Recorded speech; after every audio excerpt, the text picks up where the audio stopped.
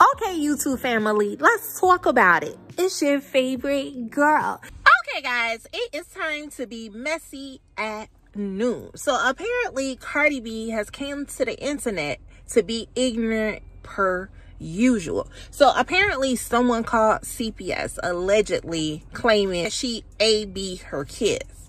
All right. Now, Cardi B did say in that live that the only people that lives in her neighborhood are Latin and white people. So she's trying to figure out who called because she says that she's going to hire the best investigator in the world to figure out who was the person that called to make these allegations. Cardi B girl, you ever thought that maybe it was the white people? They want you out the damn neighborhood? Because if you're anything like how you act, ma'am, when you on the internet streets, imagine how you act when you in your damn neighborhood. Ghetto is hell. Arguing with offset. God, I will want you out my neighborhood too. We want peace in our neighborhood. We don't want no ignorant people, ignorant acting people coming in our neighborhood causing a ruckus. You ever thought that maybe one of your neighbors called, ma'am? They want you out the neighborhood. Y'all drop that in the comments. Who y'all think called CPS on Cardi B? Or do y'all think this is a publicity stunt? Does she have some new music? She's working on a new project. What is she doing?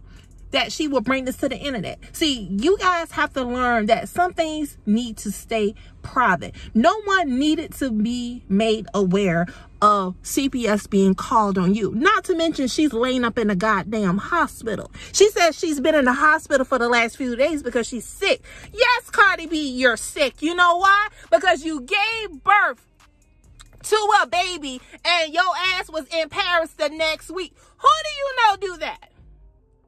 Who do you know do that?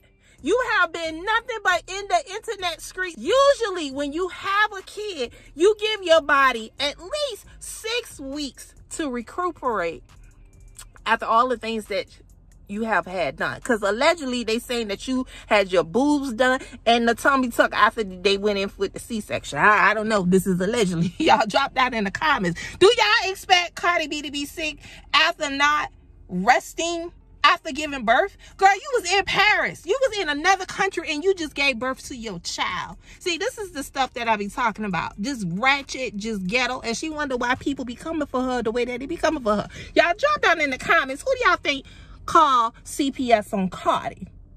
I'm done being messy. Next video.